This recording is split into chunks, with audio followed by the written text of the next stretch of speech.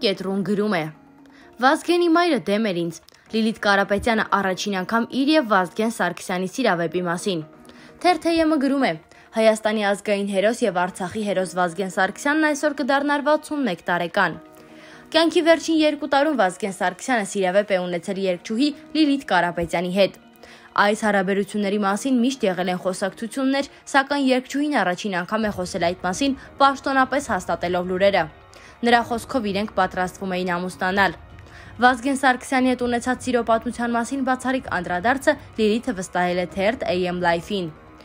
Առաջին հանդիպում Լիլիթը պատմեց, որ Վազգեն Սարգսյանն իր հանդեպ հետաքրքրություն ցուցաբերել է առաջին հայացքից, թեև անձամբ ծանոթացել են ավելի ուշ։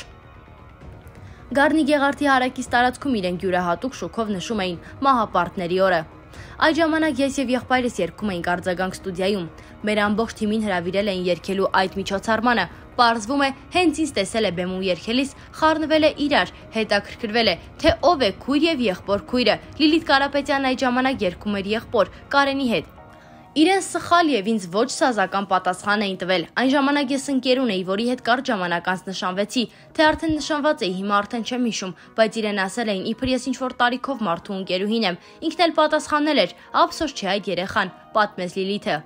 Երկչուհի եւ Վազգեն Սարգսյանի հաջորդ հանդիպումը կայացել է ավելի ուշ, երբ նա եղբոր հետ աշխատանքի է անցել Երևանի ակումբներից մեկում։ Առաջին հանդիպումից բավականին ժամանակ անց մեր տուն զանգեր էին գալիս, բայց մենք չէինք պատկերացնում, որ հնարավոր է դա ինքը լինի։ Երբ մենք արդեն արձագանքում չէինք աշխատում, մեզ հravirեցին երկելու ակումբներից մեկում, հետո իմացա, որ իր խոսքով են մեզ հravirել այնտեղ։ Ինքն է ասել. «Շատ կուզեմ քույր եւ եղբորը կանչեք ձեզ մոտ»։ Նա սկսեց շատ հաճախ գալ ակումբ, ասաց, որ ինքն էր ինձ զանգում, այդ ժամանակ արդեն նշանած չունեի։ Մեր մեջ սկսվեց շատ սիրուն ընկերություն։ Սիրո պատմությունը Վազգեն Սարգսյանը 16 տարի մեծ է Լիլիթից։ Երկչույն պատմեց, որ սկզբնական փուլում իրենց շփումը միայն ընկերական էր։ Ես այն ժամանակ 22 տարեկան էի, նա էլ այդքան մեծ էր ինձանից։ Մոտ 6 ամիս մեզ մոտ պարզապես շփում կար, որից հետո սկսվեց շատ գեղեցիկ պատմություն, որը տևեց 1.5 տարի, մինչև այդ չարաբաստիկ օրը։ Հենց այդ տարի 1999 թվականին մեր երազանքներն ու ծրագրերը գնում էին դեպի ամուսնություն։ Եթե այդ չարաբաստիկ դեպքը չլիներ, մեր կյանքը այլ կերպ կդասավորվեր։ Մենք մտածում էինք ամուսնանալու, երեխա ունենալու մասին։ Նա շատ երեխայապաշտ էր, հուզմունքով հիշեց երկչուհին։ Լիլիթն ասում է, որ սպարապետին ճանաչել է այլ կողմից եւ հստակ կարող է ասել նա անփոխարինելի էր։ Ասում են կատարյալ կամ անփոխարինելի մարդիկ չկան։ Ես համամիտ չեմ ինքը անփոխարինելի էր ու կատարյալ։ Մեկ-մեկ հետ եմ գնում իմ երազանքների մեջ։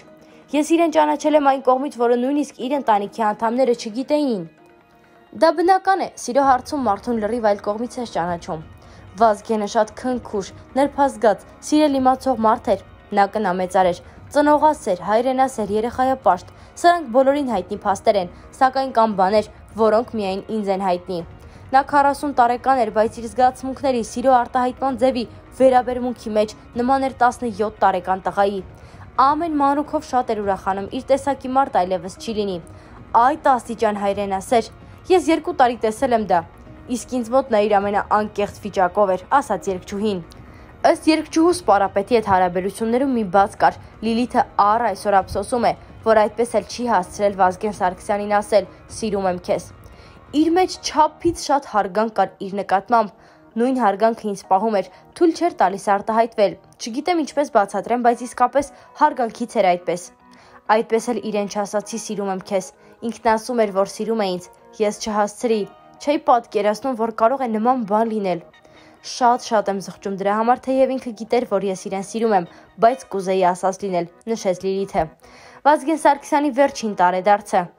Այսօր գիշերը Լիլիթը չի քնել, Ծաղիկներով գնացել է Եռաբլուր, ասում է ուզում էր շուտ գնալ, որպեսզի կառավարական հոսքի մեջ չլիներ։ Լիլիթը պատմեց, որ սպարապետի վերջին տարեդարձը միասին են նշել։ Միասին էլ բացել են նրա նվերները, որոնցից երկչույն ունեցել է իր մասնաբաժինը։ Նա այդքան ուժեղ մարդ էր, բայց չէր ուզում նշել իր 40-ամյակը։ Իր վերջին տարեդարձը միասին անցկացրինք։ Իր մայրը իրենց տանը նշում էր ծնունդը, Վազգենը որոշեց, որ միասին գնանք իրենց տուն, հետո վերադառնանք, բայց հասկացանք, որ միասին գնալը ավելի ժամանակատար կլինի։ Որոշեցինք, որ ես տանը պատրաստ սպասեմ իրեն։ Նա գնաց, տանը նշեց ծնունդը եւ շատ շուտ հետ եկավ։ Ամբողջ գիշեր միասին նշեցինք իր ծնունդը, երկուսով բացեցինք իր նվերները։ Ես էլ նվեր ունեցա դրանից։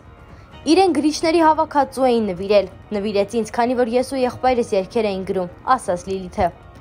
Վազգեն Սարգսյանի մայրը դեմ էր։ Չնայած տարեդարձի օրը Սպարապետն ու Լիլիթը միասին են եղել, երկչույն այնուամենայնիվ չեղավ նրանց տանը։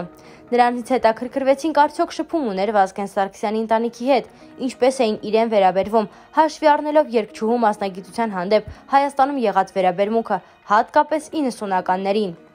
Ես ընտանիքի հետ շփում չունեի։ Բոլորիս էլ հայտնի է, որ հատկապես այդ թվականներին Հայաստանում մի քիչ այլ կերպ էին վերաբերվում երկչուհու մասնագիտությանը։ Դա շատ խոսակցությունների թեմա էր տալիս։ Ինձ ասել էին, որ իր մայրը ուրիշ աղջկա է ուզում, բայց իր պարագայում դա չէր կարող լինել, որովհետև կյանքում առաջին անգամ սիրահարվել էր այնպես, որ որոշել էր ընտանիք կազմել։ Ճիշտ է, մայրն իր համար առաջին տեղում էր, նույն առաջին տեղում հայրենիքն էր, նույն առաջին տեղում իր եղբոր տղան Կարլենն էր, բայց իմ հայտնվելուց հետո նույն առաջին տեղում նաև ես էի, պատմեց Լիլիթը։